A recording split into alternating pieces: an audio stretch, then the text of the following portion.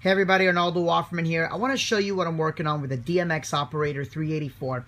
The DMX Operator 384 is a hybrid DMX slash MIDI control board. Now, let me give you a couple, uh, a little bit of an insight into the DMX Operator, and then I'm going to show you the default mapper that I'm making for Grand VJ. First of all, in MIDI mode, not every button works yet. Maybe there'll be a firmware update, but for now, let's go ahead and focus on what does work. These buttons here, fixtures, and your faders, and your scenes, all work, but they're also mapped to this scene bank, right? So right now we are on page 1. So this is 1 through 12, and then we have 1 through 8. But this individual 1 through 8 also has a second page. So now it's 1 through 8 and then 9 through 16. Same thing, 9 through 16. Let's go back, bring this to the first page. When I go here, page 2, now this is uh, 13 through 24. And this is 17, 18, 19, 20, 21, 22, 23, 24.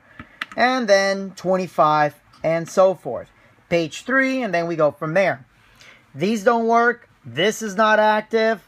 This is not active. These do work, but they're not assigned to the page, which is good for the mapping that I made. And I'm going to show you that in just a second. So the chases 1 through 12 work.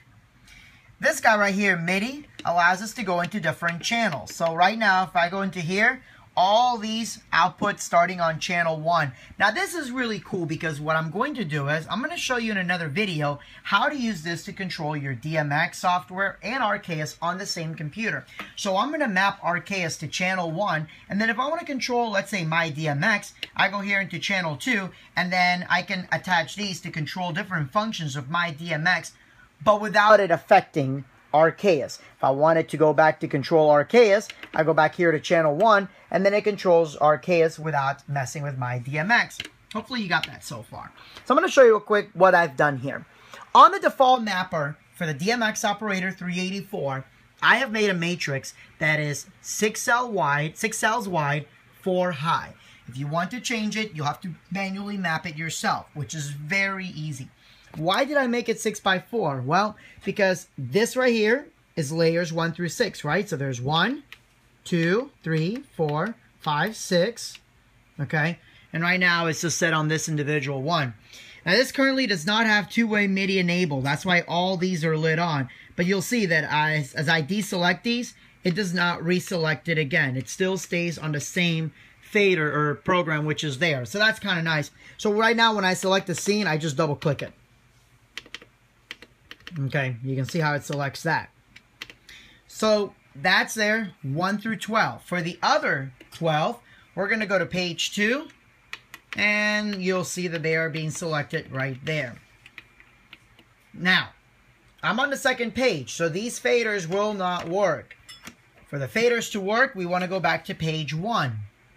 And now you'll see that the faders selected right there. Super easy. Okay. And page two, again, they do not work. I'm to real quick show you if you want a MIDI map and change something yourself, how easy it is. So I'm to leave this on page two. And then we're going to go into our options and then set MIDI mapping. And you see these little X's. I'm to click the X, which is the kill layer. I'm to click one, two, three, four, five, six, seven, eight. And then we just shut it off and it automatically saved it. So here's how it works. When you go to page one, you can select your faders. So I'm going to go ahead and I want to load this guy right here. That's on page two. So we're going to go to page two and we are going to load, there it is, the second one there and it's loaded to the very bottom layer, okay? To select that layer, I'm going to go back to page one, and I'm going to move this fader up and down, and there it is right there. Now, let's say I want to load something to my topmost layer.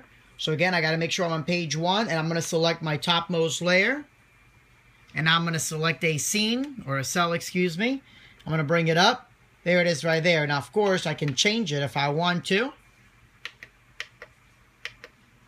Okay. I'm going to go ahead and bring this one down. And now I'm going to select my second row. So there's my second row. I'm going to select a cell. And there it is right there. So now I can control different ones. Let's say I want to dump or kill. That means that I'm going to click this little X to delete that. I map this X to page 2. So watch this here. We got this guy right here. I'm going to go to page 2. And then I'm going to select the kill because now this is a kill switch instead of select. And it killed it, so now it dumped whatever scene I had on there. So if I want to go to page 2 again, I'm going to go and delete these two right there. Now we're starting over. Now I select page 1 or my uh, first uh, layer.